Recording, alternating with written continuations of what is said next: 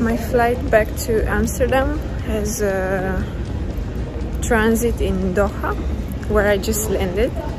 It was uh, the most convenient option that I had for today and I was like, sure, why not exploring Doha for a day? And then I checked, I realized it's actually Ramadan now for them. And there are some rules as well for me that I have to uh, take into account while visiting. So let's see how is that is gonna work. I'm going now to check what I need to go out of the airport. The transit visa for Doha is available for any passengers regarding of their nationality and is free of charge if your stay is between 5 and 96 hours. It's very easy to get it from the airport. The moment you go out of the airport there is like a security check they will take pictures of you and also fingerprints and then they just put a stamp on your passport and that's it. I'm going to reach the hotel by metro, so I just got a day pass.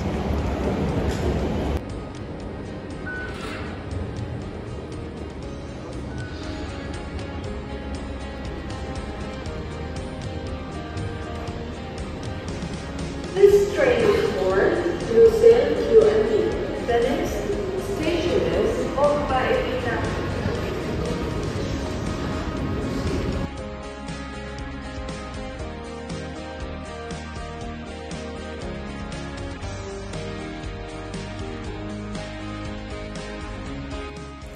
Also make sure that your shoulders and your knees are covered and your clothes are not transparent.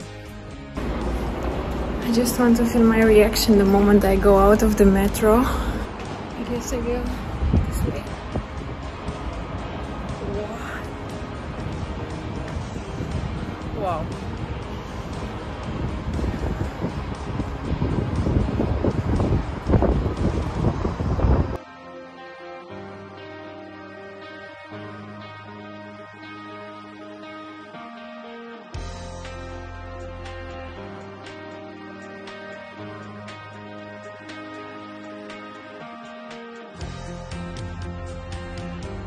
When you go to a new country, check what type of sockets they have because here in Qatar, I need an adapter and I didn't know that because I didn't check.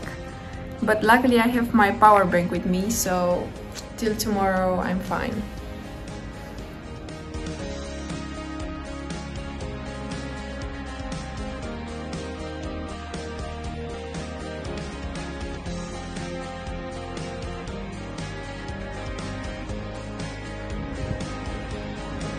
Quiet now.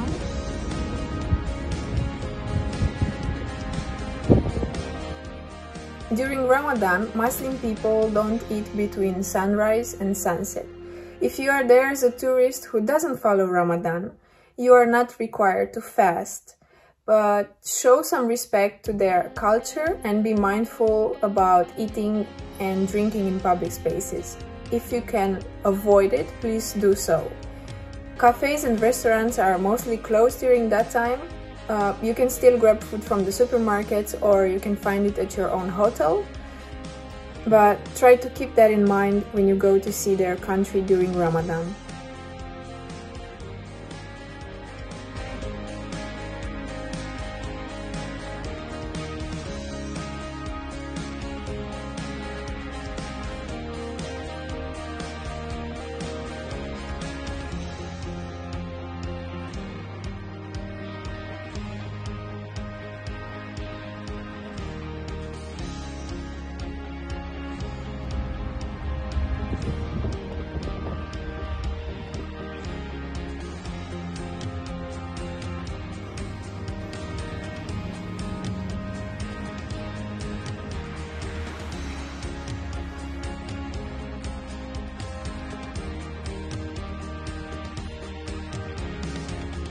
I am truly, truly impressed by what these people built in desert, you know?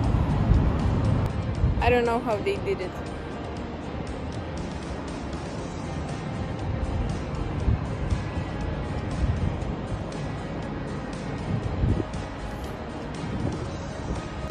It is so quiet. It seems abandoned. There's no one on the streets, barely any cars